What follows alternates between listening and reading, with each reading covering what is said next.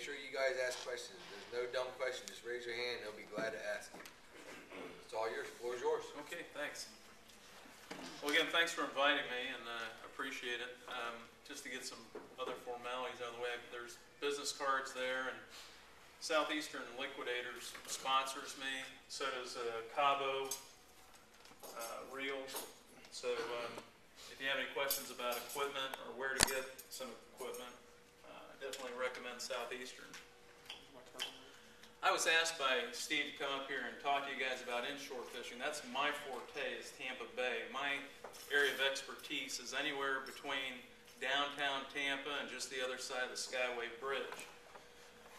From listening to you guys, it seems like we have quite an assortment. Most, uh, it seems like a lot of people know some stuff, other people are still learning. So again, like Tiger said, if there's any questions whatsoever you have, feel free to ask me. Um, Steve kind of said, well, maybe cover what you're going to be doing for the next two days, two week, two months. Um, I, I fish pretty much the same. The, the big things that I can tell you is tides, and that's why I brought this tide chart here. I fished today, and uh, the most important thing about fishing Tampa Bay, and I think just about anywhere unless you're offshore, is the tides. So I almost structure my fishing trip around the tide. So if you look at that tide today, and this is the name of this website I wrote on the top is Rod and Reel Tide Chart, but you don't necessarily have to go to Rod and Reel. If you find another tide chart that works great for you, go ahead and use it. But I use these, and I've got three ring binders full of pages of these because, as I was mentioning a couple other people earlier today, what I like to do is after the day's trip, I go ahead and if you're not computer savvy, you can go ahead and do it in handwriting. If you can go ahead and cut and paste, cut and paste that tide chart, stick it on a Word document, and then you can go ahead and type in your stuff nice and neat. Sometimes I do. I have some handwritten stuff where I just don't have time to do it. But there's important things you learn every day out there fishing, and a lot of it is about the tides. So today, for instance, I was up at 5 o'clock this morning, and I dropped the boat in the water, and loaded up all my gear. And before the sun was coming up, I was easing out of the canal. I live on the water in Apollo Beach. I've lived there since 1990. I bought my house there on the water. And um, I ran out to my first bait spot, okay? And someone was saying bait's the tough thing. Well, it can be the tough thing. but Sometimes it can be easy. I went to my first bait spot, anchored up next to a channel marker, and started chumming. And I threw the net, and all I got were big horsemen. I mean, big sardines like this, huge ones. And they're great if you're fishing for tarpon or grouper or really big snook or something like that, a big, big redfish. But today's trip was somewhat novice, and they just wanted to catch a lot of fish. They wanted to catch fish to eat. They wanted bluefish, mackerel, that sort of stuff. They're two Vietnamese. One didn't speak uh, any English. The other one was the wife of a Marine veteran from Vietnam, and they wanted to keep everything. They kept my bait fish. they kept the bait fish too. They say they fry them up and they're crispy, and they hey whatever, it's, it's okay. But getting back to the the tides, if you look at five o'clock, the tide was coming in pretty strong. So to get bait, we're anchored up current from this channel mark here. I'm chumming and throw the net and you know, big baits. So it's not going to work for catching bluefish and mackerel. You need smaller bait fish. So I went to my next bait. I went to five bait spots. The last time I went, and I'll tell you where I got bait at so you guys know, but I got off Cockroach Bay flat. I was down there and it was, I had to pick up at 8.30 and it's 7.30 and here I am there and I got to be back in Apollo Beach at 8.30. So I zipped into that flat and I started chumming again and just little pinfish, little pinfish. The bait fish showed up, I got the bait. Now, if you take a look at that, I, I called and said, hey, I'm going to be 15 minutes late, by the way. But we got plenty of bait, went to pick them up. And on this time chart, you can see that this is at Shell Point, okay? So at Shell Point at 9 o'clock, 9 11 is high tide. Now, when do you want to catch, when do you think the fish are going to bite? Just looking at that tide chart, who can tell me? When are the fish going to bite? I picked up at 8.30. Not at high tide. 11 o'clock. 11 o'clock? 11 o'clock, yeah. Yeah, that's a pretty good time. The main thing is you want moving water. How about it's 7? 7 o'clock in the morning would have been good. Okay. Seven would have been good. Seven to eight would have been good. Um, Eleven to two was great. But here's the thing: that's Shell Point, and this is something that you have to learn: is that we didn't fish here at Shell Point. We ran south all the way down by Joe's Island, where the tide is a, is already started moving out. So what you want to do is you want to follow your tides, and that's how you plan your trip. You see, because the tide up here is an hour later, over an hour later, and it's the most important thing you do. So you take a look at the tide, and you plan your trip. If you want to fish that outgoing tide, you're going to fish it all day long. You're going to fish that outgoing tide on a day like this, because I'm fishing from basically nine o'clock to three o'clock. You see, three o'clock's the low tide. So, in order to do that, you go down south where the tide's moving and you follow that moving water all the way north. The last spot we fished was up off of MacDill, close to downtown Tampa today. But we started down there. So, my point is about tides, and it's regardless whether it's the next two months or it's any time of year, tides are probably the most important thing that you're going to use to catch your fish. The next thing that you're going to use is the knowledge that you develop. And that's why what I do, again, is I make notes. We started off down south by Joe's Island, off of Joe's. There's an area down there where there's some rocks and some grass. And we were catching mackerel and bluefish like crazy for the first hour.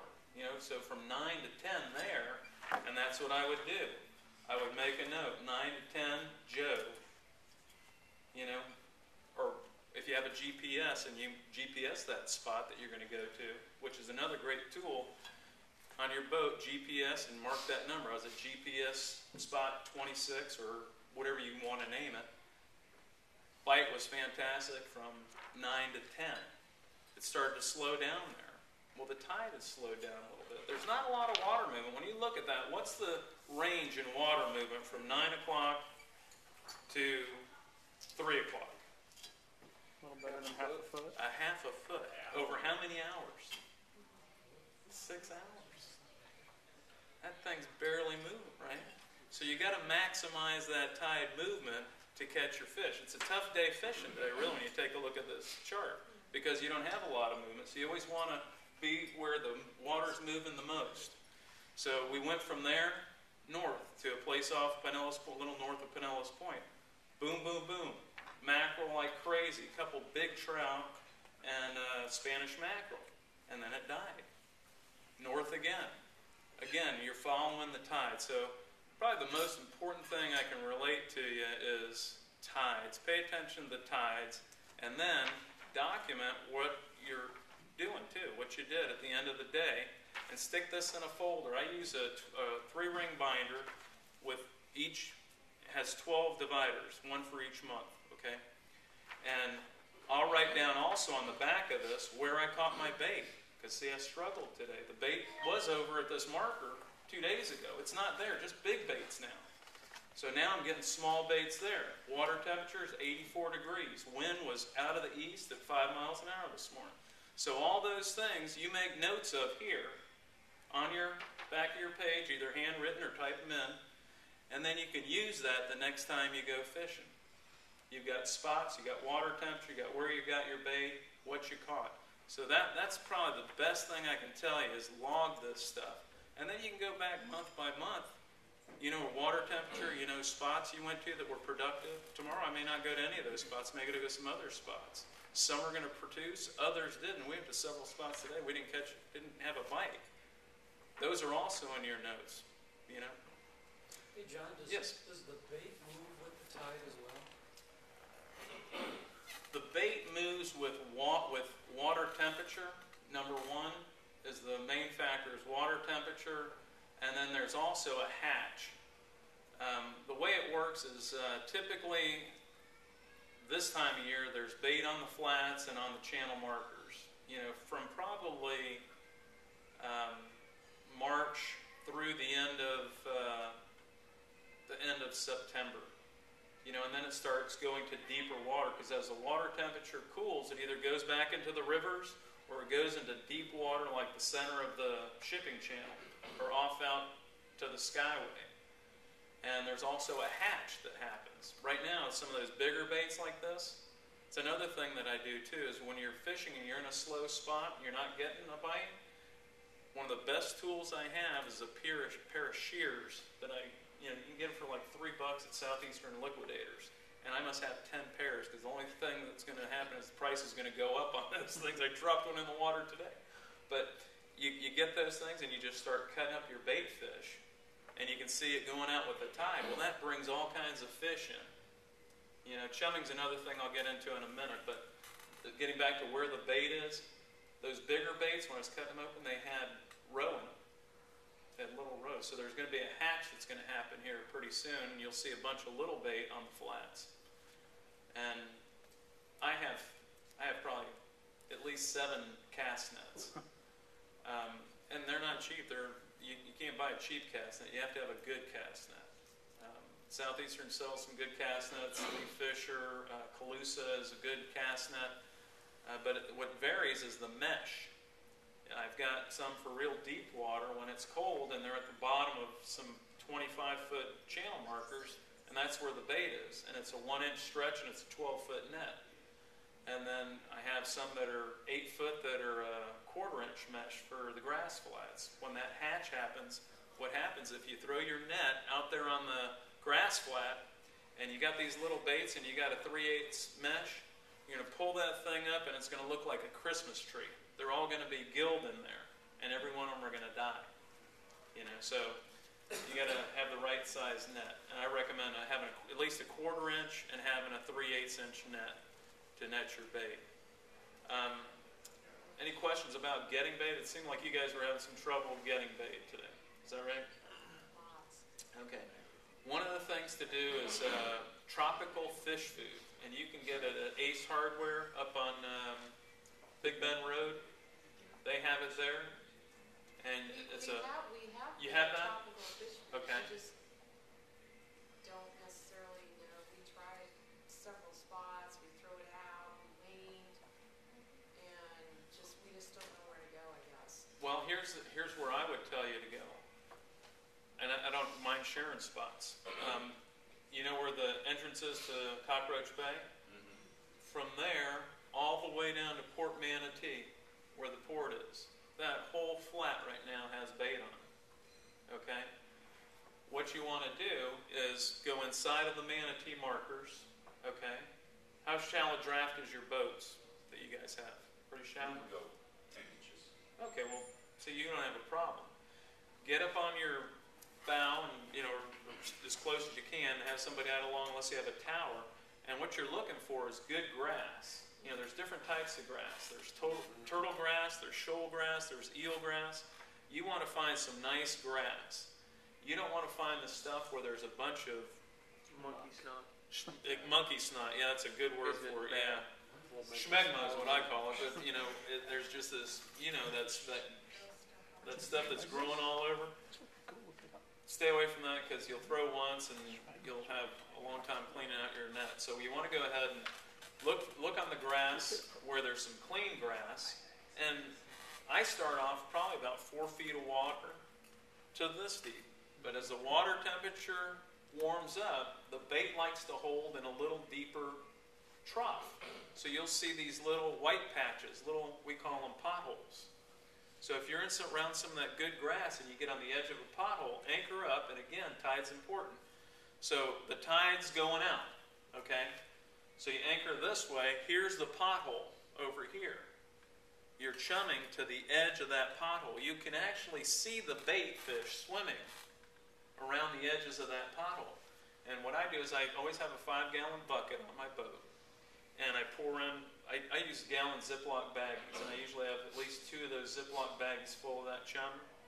And I'll pour a quarter of it out, splash a little water in there, mix it around. And today I use the anise oil, which smells like licorice, but if you've ever grabbed a bait, it smells like licorice, and it attracts them. So you can get it online. I bought, I think, 15 bottles for I don't know, I think it was $45 or something. You don't need much. You just shake a couple little drops in there, a little bit of water, and you make it to where it's, you know, still light and fluffy, you know, not real wet. And then I just start chumming it, and you can see it going with the current, okay? And as it goes with the current, you'll see a slick that goes back there, okay? If you look way at the back of your slick and you just keep constantly chumming in the back, chumming in the back, chumming in the back, that slick, you'll start to see some dimples way back there. And eventually they'll come right there behind your boat. One of the key things is let them build confidence. Don't just start throwing that, throw some chum and start throwing the net. Wait till they come in. Wait till you see at least a you know couple dozen of these bait fish swimming into that chum, and then you can go ahead and cast. And as soon as I throw the cast in, I grab a handful of that chum, I throw it right back over the net, and then I bring that in, dump those out, and I'll chum for a while. And the next thing you know, there's two dozen, three dozen, four dozen, and then more and more. So that, that's the best way I can tell you to chum. Is and here's the other thing that's really key. Guides don't even do this, okay? This is a key thing to do. If you don't have two anchors, then get one of those sticks. You know, the uh, stickums, the, uh, I don't even know what the heck mine's called. It's a, Wang. a wang, okay? Your anchor's here, the current's pulling the boat this way, tide's going that way, right? With that anchor, that boat's swaying from here over to Walter. so, so when you get ready to throw that net, if you're over by Walter and you've been chumming over here, you know, all that bait's there. So what you do is you get that wang and you stick it right beside the boat, tie it off on the side cleat, so your boat doesn't move. That boat is right there. Because you move five feet this way, and I don't know how good you guys are at throwing cast nets. I mean, I can open up like a pancake, but you know, if you're if you're only open up as big as this table and you move that much, you're not going to get any bait. You're just going to scare them. You see, so those are the key things about getting bait right there. Um, If, uh, if, if the maximum flow for your fishing is later in the afternoon, let's say three o'clock. right? You've determined that's the time you need to be out there to, to take advantage of the flow. Can you still catch the big fish, you know, like at two or one thirty with that technique? What I've found is that, uh, and this is funny, Mother's Day, my wife wanted to go out on the boat. So we went out in the afternoon at 12 o'clock. And I was down there at Cockroach Bay. She's sunning, reading a magazine, and you know, I'm pulling my hair out because I just can't sit there and do nothing. So I grabbed some chum and I started chumming. and the bait showed up, and it was like 12, 1 o'clock in the afternoon. Okay? So I thought, great, I can get bait this spot. So for my charter the next day, I ran down, I marked that spot, went right down that same exact spot, and I couldn't get it before the sunrise. Don't know why. Again, I had to go to another spot. Remember I mentioned about GPSs? GPS, if, uh, if you're on a spot like that, where you get bait, mark it. Mark bait. Mark the temperature on your GPS. Okay? Because you'll find that temperature there. You can go somewhere else and go to that. So you want to do that again. You know, so you have a bunch of bait spots. Because, like I said, I went to five of them today before I loaded up on bait. And as you said, bait is key. Tide is, you know, probably the most important. But if you don't have bait, you're not, you know. I'm not an artificial guy. I do probably 95% of my fishing with, with live bait. Um, today, though, um, the tides were slow. And these mackerel were looking for something that was moving, you know. So I put on a Clark spoon, and we caught a bunch of bluefish and mackerel on a Clark spoon today. But we were also catching them on the live bait. How did you know they were looking for something moving? Well, because when she was reeling, we get a hit.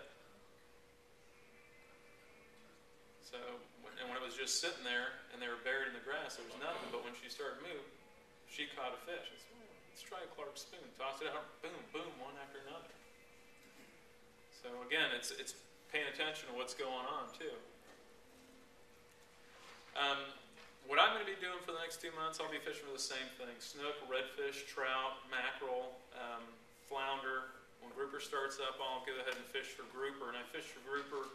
Um, you know, in the shipping channel, I've got spots that are in 20 feet of water that I troll for too.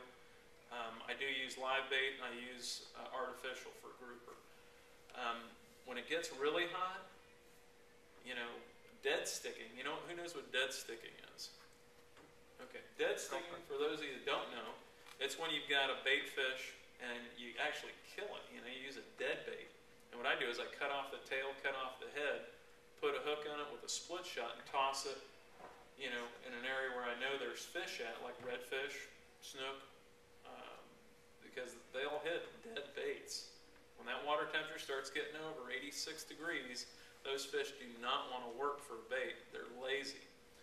Another thing about these uh, this time of year too, when it gets that hot, is that cool water, which means air conditioning. Like you guys walked in here, man, it feels good in here. Well, underneath those mangrove bushes, man, it feels good underneath there too. So, you know, if you can pick your times again, get up underneath those mangrove bushes and throw a dead bait up underneath there, and sit, you'll you'll catch redfish that way. And again, chumming. Redfish are bottom feeders. Their nose comes over their mouth like that, and they're always rooting around. I cut them open, I see little tiny crabs and stuff. I always open up the bellies and see what they've been eating. And another thing, those, those scissors that I told you about, where you keep cutting up the bait, sling them out there by the mangrove lines. Okay? Sling them out in an area where you cut up little chunks of those bait fish, pinfish, and everything else, and sling them right along the edges of the mangroves and then take your bait, live bait and a dead bait, and throw it there and sit. It Takes them a while to smell that, but they'll come up and get it. You may get a catfish or two, but believe me, the redfish will come in there and they will eat. And then what you do is again, GPS. That's a spot for me. Caught redfish there. Tide. Was it incoming tide? Was an outgoing tide? Make your notes. Yes, sir. What's the question on that? I've noticed when we use cup bait, we use uh, pinfish, ladyfish, throat pins. Never really use too much white bait. It almost seems too clean. You ever do any good on cut white bait? You're, I, I've caught them on cut bait, on, on white bait, but you're absolutely correct.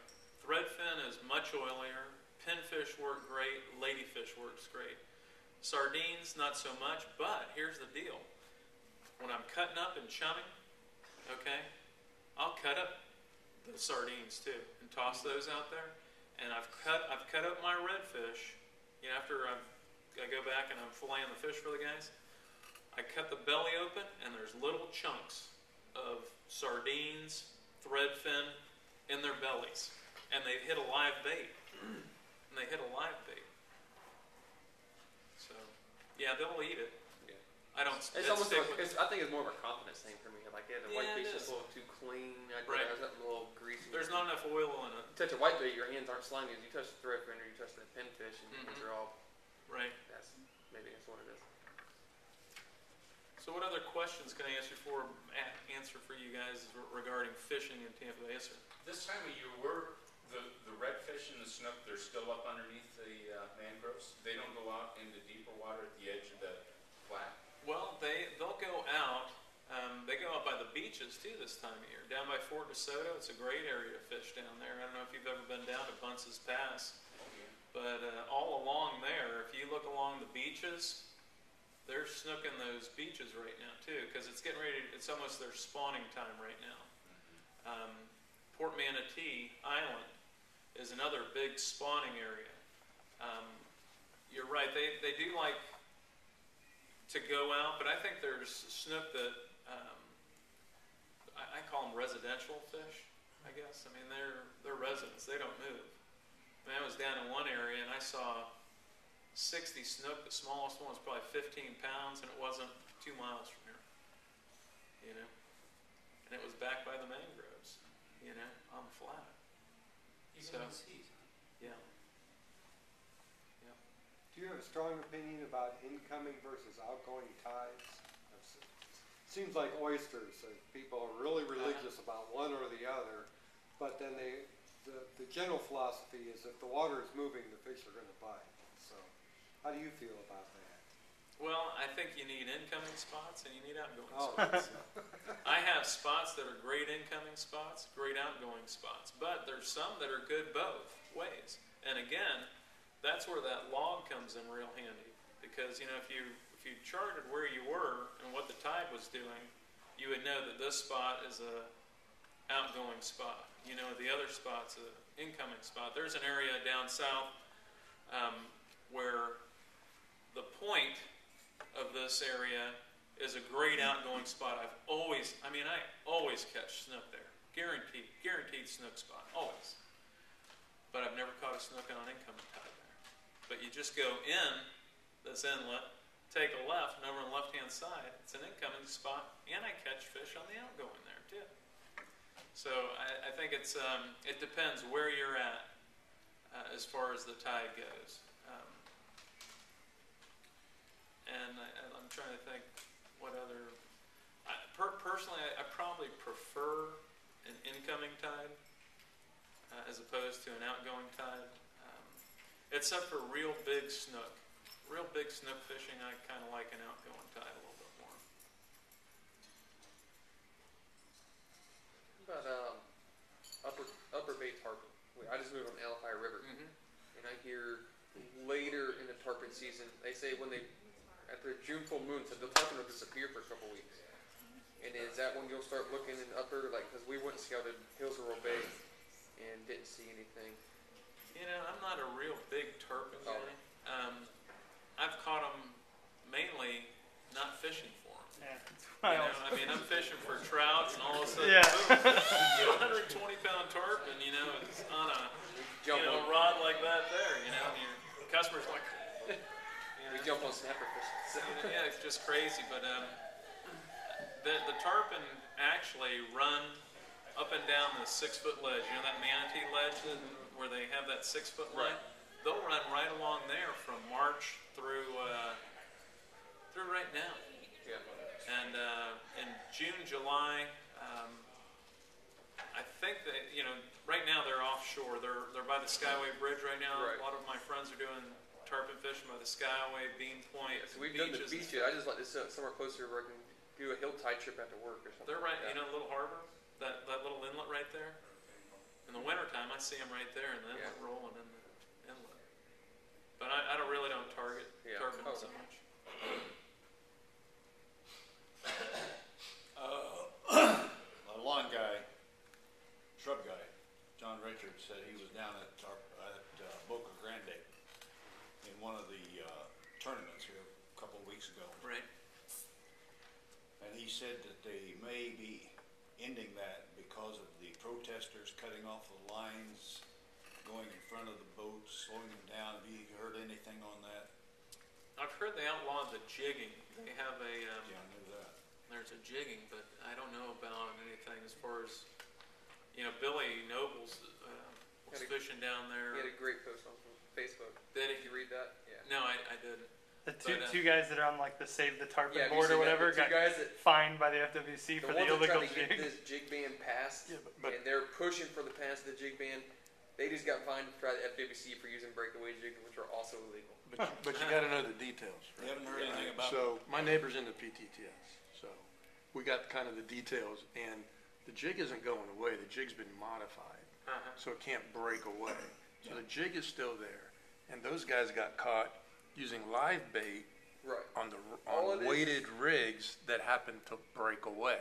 All it is So is it's a a, turf war. it's a breakaway rig that you can't have, be it a jig, be it live bait, you can't have breakaway. Yeah, years ago, what we used to do is put, because I fish a little bit for tarpon down there, and you'd put a weight with a copper wire. That's what they got. That's wrapped exactly what they got busted and on. that's the old school way. I mean, when I was, Yeah. you know, twenty something years ago, when Copper I fished was down there, Yeah. you'd have that lead on there with a piece of copper, and when the fish hit it, you got so much force, you just throw that. Then you got a lead flying right next to your head. Yeah, so, so the bottom line is the jig is still there, it's just modifications to the jig that have been tweaked and whatnot, but it's, it's all, like you said, it's all about But they, semantics. they are changing. who's the trying to They're still elbow trying to who get rid out. of the tournament. It's they a changed it. They don't weigh the fish in anymore because Yeah, they're protesting that. because they were lip gapping them, and which It's, why are you going to lip gap a tarpon? It doesn't make any sense.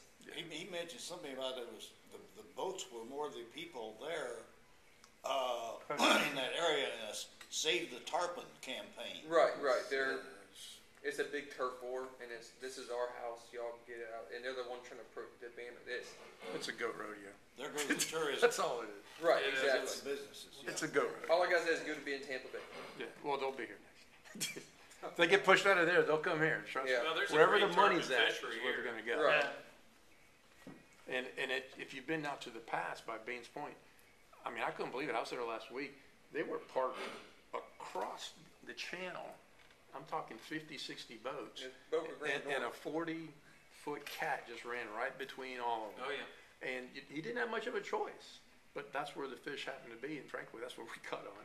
But anchoring in a channel to me is just insane. No, you should. All of It's them, illegal, isn't it? all of them were were anchored up. I couldn't believe it. We drifted through, and we just had. And happened. that's almost a more dilemma when you're running the boat and you see a kayaker So- sitting in the middle of the channel just fishing. I mean, you feel obligated, you're slip, but you're like, I shouldn't. So- You're you're in the middle of a channel. That's Yeah, like that's, that's kind of a difference. Anyway, we need to get back to That's okay. whatever hey, John's kayaks are doing. the cyclists of the waterway.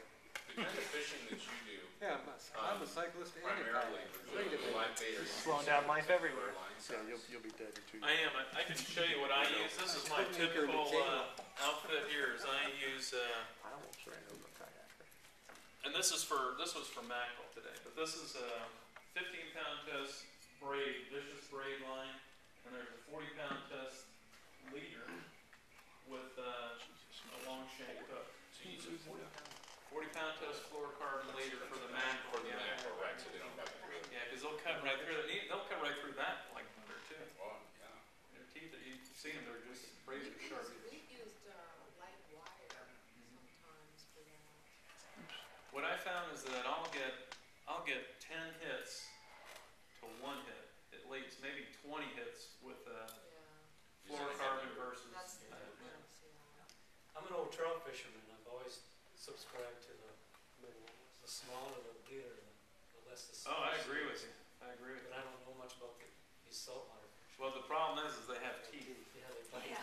You know, they, they, uh, they will go through, uh, even a snook, if you get, I, I've got, we've caught, I guess in the last month or so, I've caught probably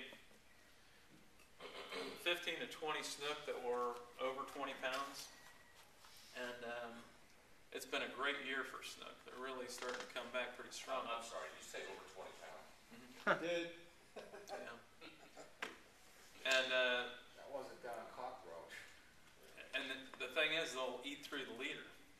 So you're really fortunate to get a fish in that can bend, you know, because you, you got tremendous drag and they're heading right for those roots. And um, if you have 20 pound test leader, it's not going to happen. Where are you catching snook that big? You're at the corner of the mouth. Book him, book him. By the red marker. They'll show you, but it'll take a half a day. Yeah, but book a charter. west coast to Florida, Oh, come on, give it up, John, Cal. do you have a uh, rule of thumb for how long you stay on a particular spot? Um, it depends what we're going for. So, uh, there's a kind of a. So that one there's there a wasn't spot that big. right It's there. probably about 18 Notice the That's Tie right. that down, pass it down, see if you can But, put um, markers in there. Because you Looks like it's you gotta- texted her. that long thing, Photoshop. That's a nice stuff. Nice. There, I caught, I caught, uh, believe it or not, this year, I've probably caught over four thousand snook.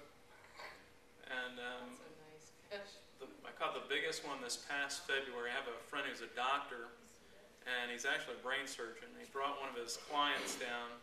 And he said, and he's a, he's a good friend of mine. He says, John, we need to hook this guy up fish. So another captain buddy of mine, Jason Preto, and I went back into the river. It was February. And we were catching some small fish, and I said, I'm going to go over by the power plant and see if I can't get him on a real big fish. We hooked a fish. I thought it was a tarpon. It was uh, 48 inches long, a little bit longer than that maybe, and it was probably 35 pounds plus. That's a big slug. It was the biggest fish, that, uh, biggest snook I've ever That's a big caught. They slug. posted that on the uh, Florida Guides Association How big website. How big was it? He was over 48 inches long, a little over 48, and I, I estimate probably, I've got a picture of it, he's probably 35 pounds plus. When you catch him on? Caught him on a big sardine, Yeah. big, big sardine. I find it's kind of a struggle to tie knots in leaders that are bigger than thirty pound test. It's not really, um, what knot do you guys use? A surgeon knot, Surgeon knot? yeah, and then what the. s- I can show you guys a couple of knots that I think are probably uh, much better than a surgeon's knot. Show us. Here's that.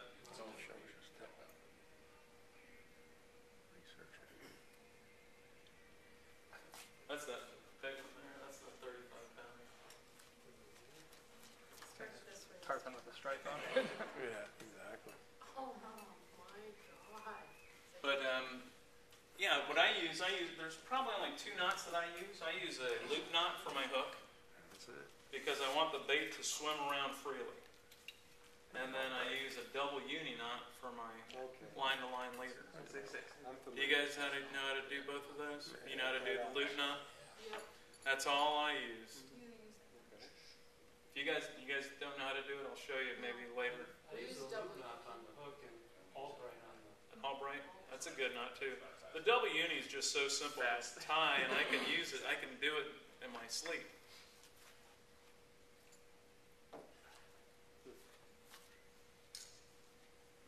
You think about, um, braided line? That's all I use. Except for offshore, sometimes they say, and I've, I've, I've used, uh, some, a lot of monofilament. A friend of mine has the, um, uh, motorized reels, you know, where you just push a button. Mhm.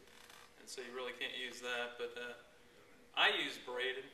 The- So the double uni works for braided to, uh. It does. What you have to do, what I do is I, the, the braided line, like this fifteen pound test braided line has the diameter of about, I think it's six or eight pound test. And so what you do is you take that line and you double it. Okay? Oh, okay. You double it, so it's Alright. thicker. When it's twice as thick, it's basically idea. closer to your leader, and then you go Mhm. ahead and tie your knot. good idea. And I always start with the braid first, and then Mhm. turn around and do the other one second.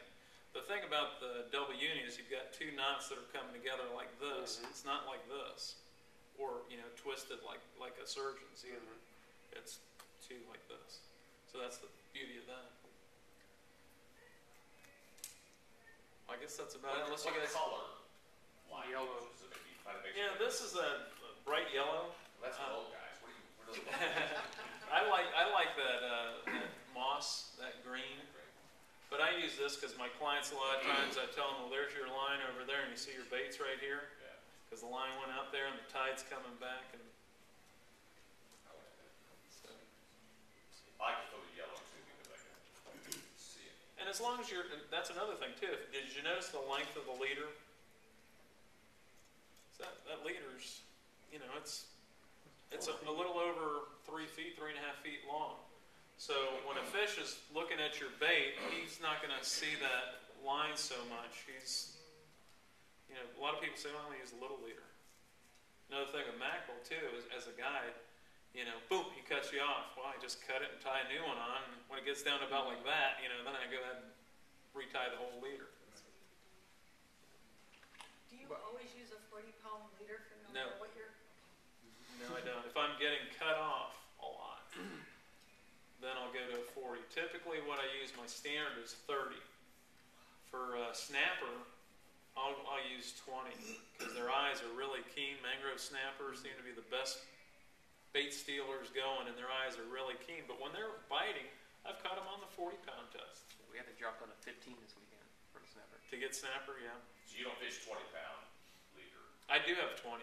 I do. Um, and if the fish are really particular, I'll try using 20 because a lot of times they'll see that other line. Yeah. But if you're using fluorocarbon, it, it's pretty clear. It's not too uh, visible.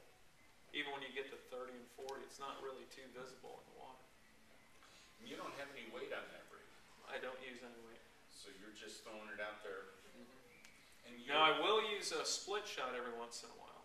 And when I'm using fishing for snapper, I'll use what they call a knocker rig, which, again, you could put a split shot on here, I mean, a um, swivel on there, and use a swivel, and then put a little, you know, one ounce um, uh, egg sinker with a, um, uh, maybe a bead that would go above the hook. And typically, if you're going for snapper too, I use like a real sharp uh, owner hook, something because they'll pack. They'll, well, you'll feel them tap tap, and you know, it's gotta be sharp to get them. Have you ever used the Gamakatsu octopus circles for snapper? I have not. Try it. Our hookup ratio went from five to one to almost every fish with Really, the, what's the name of it? uh, the Gamakatsu? Gamakatsu Gamakatsu? octopus circle Octopus. number one. We've been, they, that made our hookup ratio go. Big difference, huh? It's almost like a false, I can't explain it, but just grab a pack and try it next time you're I snapper will. fishing, cause What it's, kind I've of used the say- owners. What, what kind, what type of, brand of hooks? is it? Gamakatsu. Gamakatsu. it's a long G word but ends with a U. I can't- Gamakatsu. Made in America. Yeah, Yeah, but they- those guys that he took fishing. I use man. regular J hooks. I'm a J hook guy. Really Is don't. it circle or J? It's a octopus circle. It's almost a half and half. How do you hook, what, how do you, uh, hook the fish then, or your bait? When I, a lot of times I'll use the belly hook, which is, it's not really the belly. The, if you look at your bait fish, it has the pectoral fins here, you know, underneath it. And you literally go like right underneath the armpit through the other one. And when you throw that in the water, it'll make it dive. Okay? I do that for mackerel. When I'm fishing for uh, snook and redfish, I almost 90% of the time nose hook them to the nose, you know? Yeah, but for mackerel and um, blues and kingfish and that sort of stuff, and we caught. I mean, there's still kingfish in the bay. Uh, a couple years ago, we got a 50 pounder right off here, right off uh, Little Harbor, fishing for mackerel, Out in the channel? right beside the channel, next to the channel. Yeah, 50 pounder. That was in July. Thank you.